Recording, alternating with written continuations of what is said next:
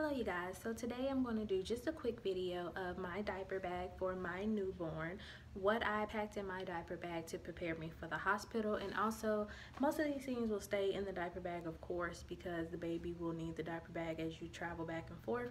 So let's just dive right into the video. So the diaper bag that I chose is this black and green design here. If you have seen my car seat and stroller video, then you know that this diaper bag matches my car seat and stroller perfectly. Um, this is made by Baby, I don't want to give you the wrong name. This is made by Baby Boom. And I purchased this diaper bag here from Walmart for $29.99. It has a wipes case on the outside, the BB Gear logo, side pocket and also a back pocket and a strap and carrying handles. It also had the loops on the straps here where you could connect keys or anything of your preference and a pocket here for cooling and of course the inside. So let's just dive right onto what I have on the outside. Here I have wipes. This came with the the diaper bag itself is for easy convenience. All you have to do is pop it here, keeps your wipes moist. And you, that way you don't have to dig through a bag when you need a wipe. On my side pockets, I put a thing of Kleenex and Babyganics hand sanitizer.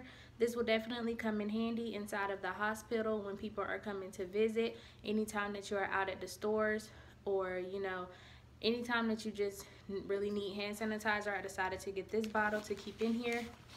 Of course, it's green. Green is not my favorite color. I just figured it was very gender neutral, just in case, you know, as my baby gets older, if there's anything that he outgrows, I can donate it to somebody else and not have to worry about, you know, they're having a boy or girl.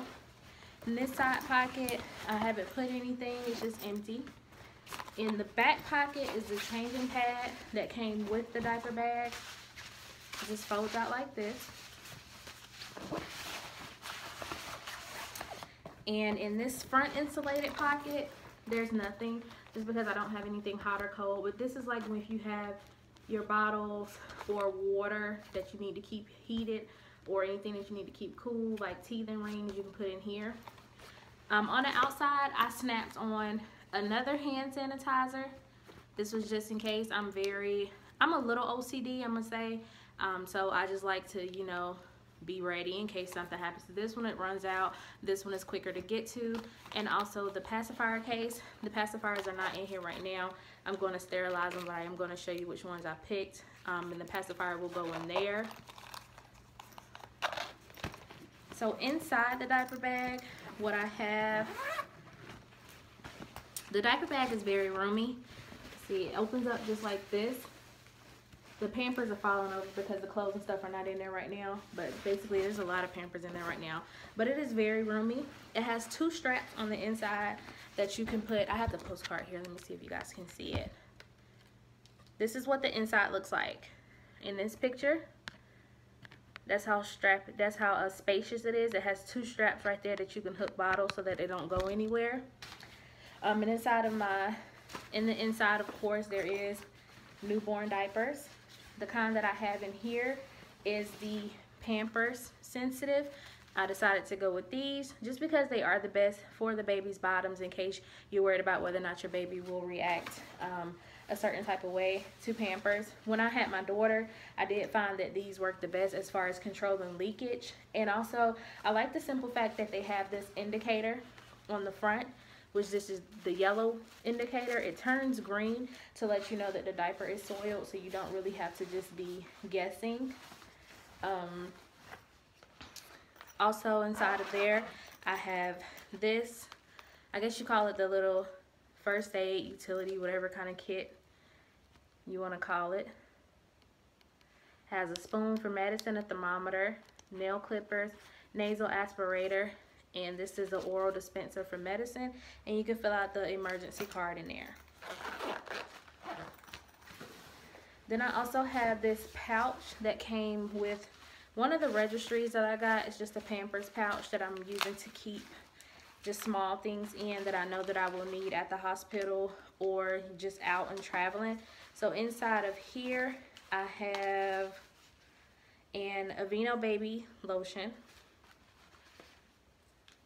the baby's hairbrush, a Baby Dove sample body wash, and I have two packs of diaper rash cream one Aquaphor, one Boudreaux butt paste, maximum strength. And this was a sample pack that was given to me in one of the registries. I just decided to just go ahead and put it in here so I can just eventually use it. It's just for the boogie wipes and the seven generation lotion. I'm pretty sure I'll use this at some point because it's it's organic. So I'll use that at some point in time for the baby. Um, the bottles right now that are going inside of the diaper bag, they actually came also from registries. It is the Avent Philips 4 ounce bottles. I am breastfeeding, but I am going to sterilize these just in case the baby does not latch on. Um, anything can happen. They always tell you to just be prepared. You never know. So I'm going to put these inside of the diaper bag and keep those with me at all times. Um, next, as far as clothing items for the baby, I have two onesies. This one says Future Mr. Right in the size newborn. This one says The World is Yours in the size newborn. And then I have two full outfits that one of course will be his going home outfit, one will be the hospital picture outfit. So the first one is just these little cute blue jogger pants and this little sluggers onesie and the matching hat. And the second one, of course, some more joggers to go with it. This onesie. And the matching hat for this one. I think this is going to be his going home outfit or the hospital outfit because it's the cutest with the bear. And the baseball one to be his going home outfit. Um, this burp cloth I don't like bibs. I just don't like anything that has to stay around the baby's neck. I'm a fan of burp cloths. Um, even the disposable burp cloths, I like those. I just don't want to have to hook and unhook anything around the baby's neck. Because the baby is being born in June and it is hot, um, I do have two more blankets. One that is the big fur blanket, um, the soft fleece kind of blanket, and then another one that's basically kind of the same, just a little thinner. And I also picked up just these basic receiving blankets. This is the blanket that I'm taking to the hospital. Just because it is thin and lightweight, it'll be perfect riding in the car home. It won't be nothing that'll draw too much heat to the baby. It'll just be thin and perfect. I also am bringing along two pair of mittens and I have three pair of socks.